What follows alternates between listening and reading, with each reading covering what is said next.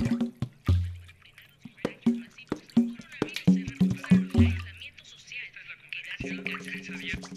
única manera de reducir hoy la transmisión es quedándonos en nuestras casas en forma masiva, todas y todos, y durante un periodo estipulado ya de un mes. Añadió que.